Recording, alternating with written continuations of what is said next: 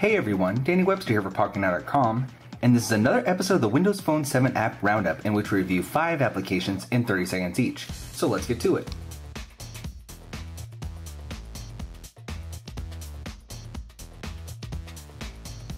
GoodMovie is a free application of Windows Marketplace that ties in directly with Rotten Tomatoes. So here, if I want, I can search for a movie. I can also get information. Let me go to Theater, and I can view movies that are playing right now. So we can view uh, Puss in Boots, and it looks as though that got a tomato. So we'll click on there and see what the ratings are. So it shows that 81% of the critics and 82% of the audience like this movie. It gives a little information. We can go to About and uh, view the cast. We can also go to Images, News. So we can also view opening movies, upcoming, DVD, top rentals, and recently viewed.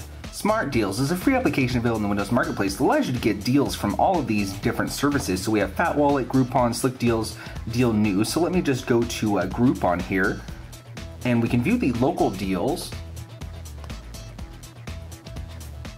So if I like one of these deals, all I'll have to just click on it and I can get the information. And I can buy this Groupon directly from my Windows Phone 7 device. I can also share it with other people.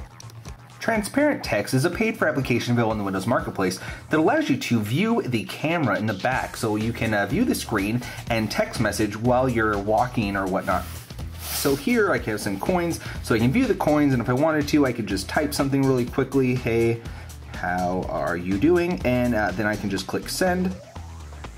So now I can see behind the Windows phone here with the camera, and I can uh, send it, delete it, copy it, or I can go into settings and change the transparencies.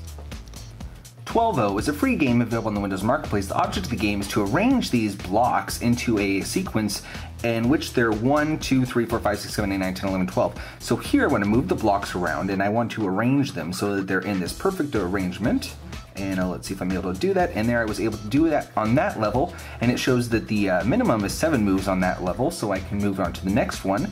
And the game is pretty simple if you uh, arrange them correctly, and if you move them in the correct number of moves, you get more points. Orbital is a paid for Xbox Live game available in the Windows Marketplace, so the object of the game is to use this uh, laser beam here and to shoot these orbs into the space. And what I want to do is to uh, arrange them so that they uh, bounce off one another and uh, I want to cause a chain reaction, so that's good. If I cross this line, it's the death line, and then I lose. So what I want to do is to uh, get these orbs uh, destroyed in the least amount of moves possible. So here we can just continue to play, and uh, that was a very large one. Unfortunately, I got past the line. So this has been another episode of the Windows Phone 7 app roundup, and if you like our videos, make sure you give us a thumbs up and also leave some comments down below.